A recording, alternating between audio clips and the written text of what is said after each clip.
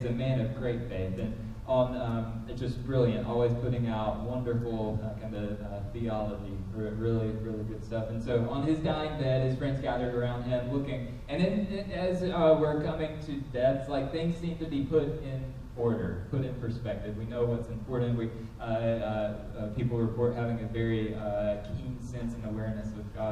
And, Wesley, uh, as they're looking for some last bit of wonderful, just amazing theology, Wesley shouts uh, with his last breath as loud as an 85 year old dying man can shout, uh, Best of all, God is with us. Best of all, God is with us.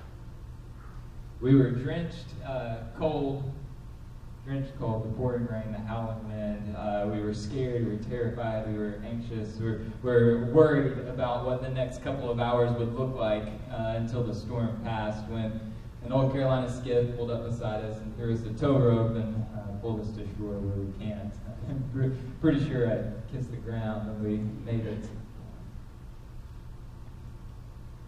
Doesn't matter how hard you run, how opposed you are to God, uh, how lonely you feel, what, what sort of chaos you're living through, whether it is literally uh, on a boat in a storm, uh, or whether it's sitting in the hospital room uh, receiving news that's going to change your life, or whether it's staring at a pile of bills on the kitchen table. God is with you.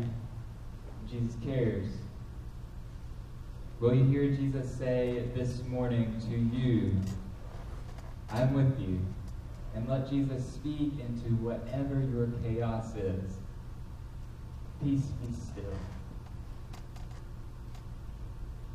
And this we say in the name of the Father, and the Son, and the Holy Spirit.